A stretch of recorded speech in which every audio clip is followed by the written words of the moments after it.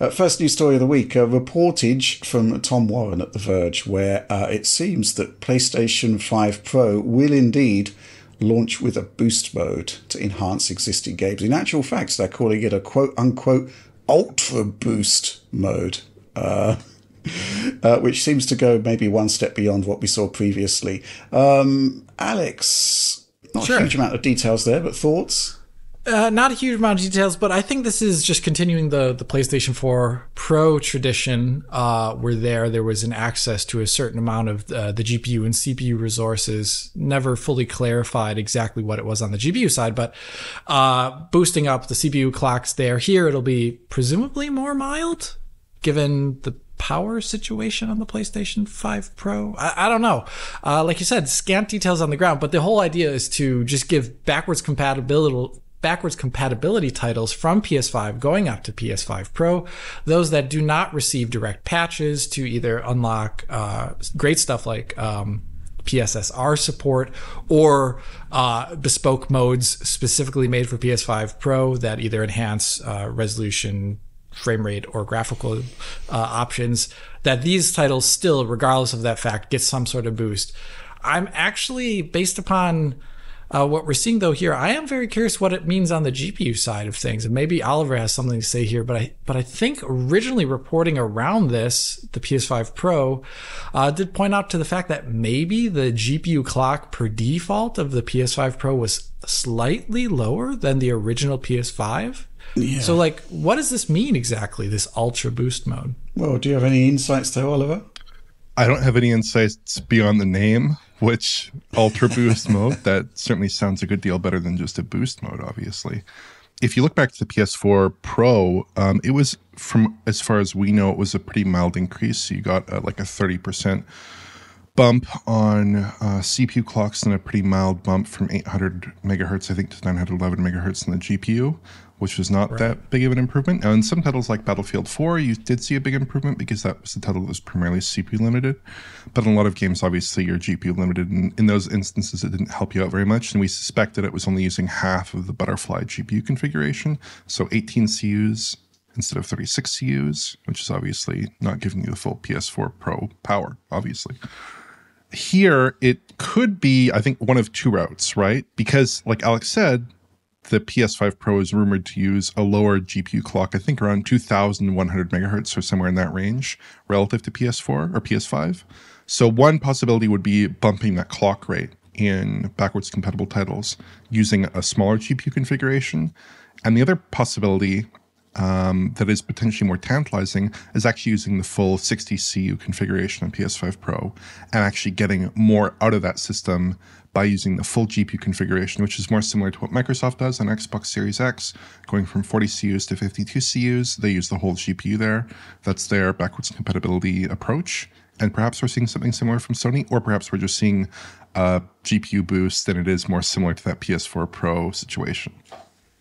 Yeah. Right. Mm-hmm. Uh, yeah, some thoughts on this. I mean, Ultra Boost mode obviously sounds better than Boost mode, as you pointed out, Oliver. And uh, you would you would expect that the full GPU is being used um, because if it is just a clock speed boost alone, it's not going to be that significant, similar to PS4 Pro. Uh, I guess what's missing from this discussion is whether there'll be any change to CPU clock speed, whether they'll they'll force on the enhanced uh, CPU mode for higher clocks. I kind of hope they do, but wouldn't be surprised if they don't for compatibility purposes. Um, and yes, I mean, yeah, the original PS4 Pro, you had that um, ability to basically switch off half the GPU, right? Um, there was an interesting change on Xbox One X where you got the equivalent of three teraflops of of, of performance for um, existing games. They kind mm-hmm. of split vertex and pixel shaders over one half of each, uh, oh, sorry, over half of each GPU. Uh, GPU. So, Ew. yeah, basically 20 CUs were for pixel shaders, 20 for vertex. Uh, maybe that's what boost mode was doing on PS4 Pro. We just never found out. The, the single clock speed boost just makes a bit more sense, I guess, for compatibility reasons.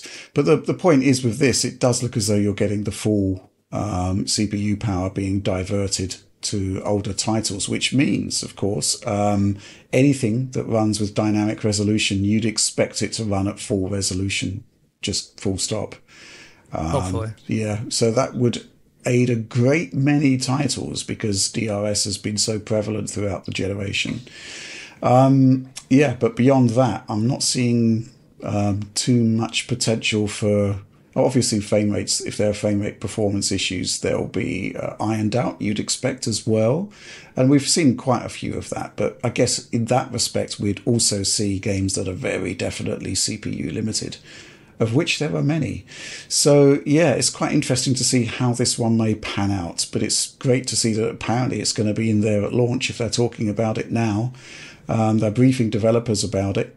And um, yes, I suspect developers are being asked to weigh up whether they want to do a full patch or whether they want to rely on Ultra Boost mode to uh, uh, to get the job done.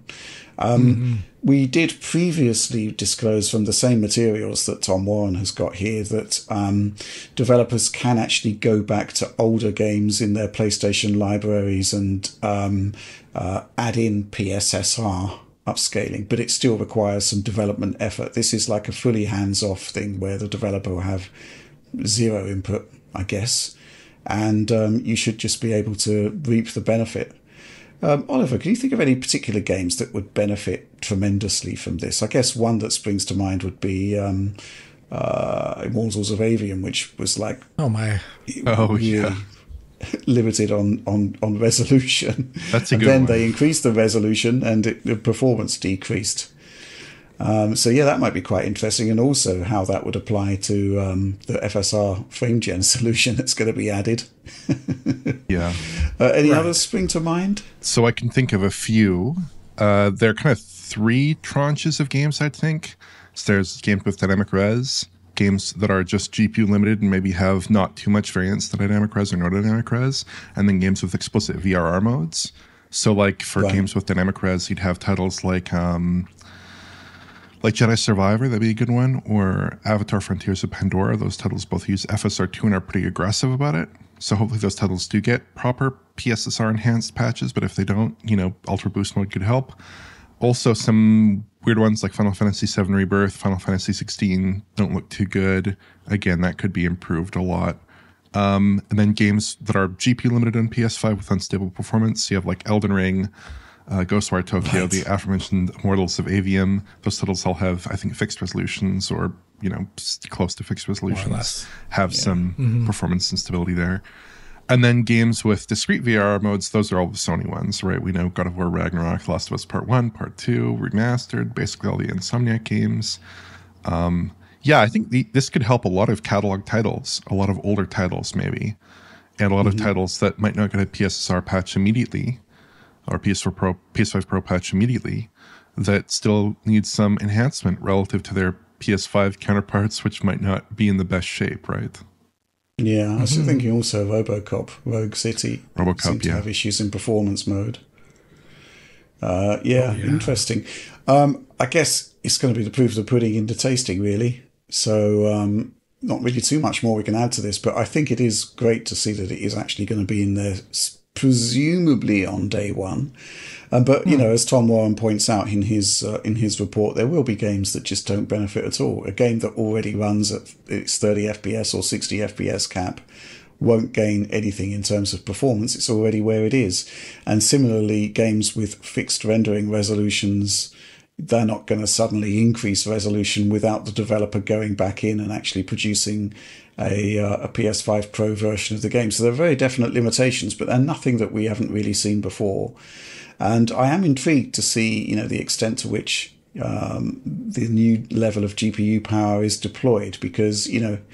Sony are talking about a notional 45% increase in performance, which would basically be enough to potentially clear up all of those games that have got GPU limited scenarios in them right now. So I think you know this could be really really good. It'd be great to go back and visit some of the more problematic titles, uh, particularly the ones that really do savagely use dynamic resolution scaling, and there are quite a few at this point, particularly in performance modes. So yes. yeah, good stuff. And we shall report more on that as more emerges. But um, something which we've got to quickly cover, which is that the OG uh, leak video from Moore's Law is Dead that basically was the first uh, outlet out there to um, to discuss the disclosures that Sony made to developers. That has been now subject to a copyright strike. Uh, this supporter question, Darjar Ko. Another thing happened this week. Sony took down the uh, Moore's Law is Dead PS5 Pro specs leak video from YouTube in a quote unquote copyright strike. Surely Sony knows that the takedown itself will simply get more coverage of the specs while legitimizing their accuracy. Is this simply an act of pre release marketing? What else would they stand to gain from taking an individual video down rather than oh. going after the source of the leak? Um, as far as I can tell, that video contained actual screenshots of actual Sony documentation, uh, which does mean that it is um, subject to copyright and, you know, maybe even potentially proof of handling stolen goods. So, it, you know, I think Sony would have had grounds to take it down, but you're right, it does kind of legitimize the, the leak. But then again, everybody has legitimized the leak with their own record, um, reporting at this point. So I, I think it's basically Sony sending out a statement from their legal teams. I don't know if you've got anything to add to that, Oliver. Uh, yeah, I mean, I'd add it to a gigantic pile of evidence that the PS5 Pro leak is genuine. But again, we've seen that from every outlet under the sun, every credentialed reporter, every experienced leaker, uh, us, obviously.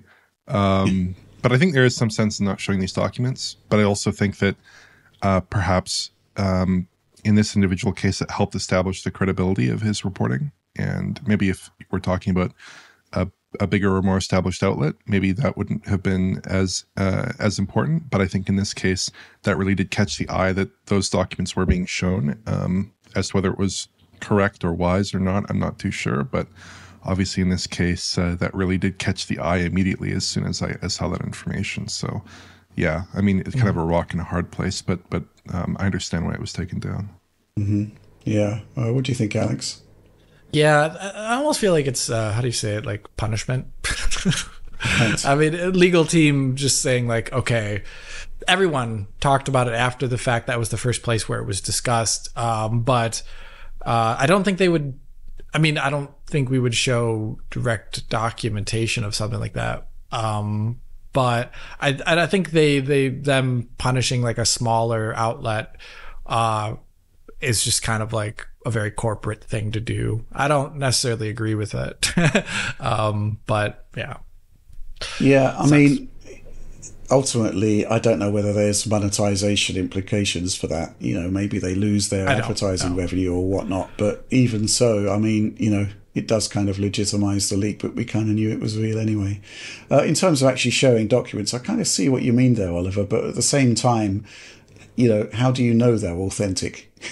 That's true. I guess there was the visualization of the PSSR uh, comparisons, which I believe are in that uh, disclosure. Yes, but, indeed they were. Yeah, but even so, um, you know, there's just so, so much fakery uh, going around at the moment. It's you know it's really difficult to say what is a fake document and and what isn't. It's down to the reputation of the outlet, basically, at the end of the day.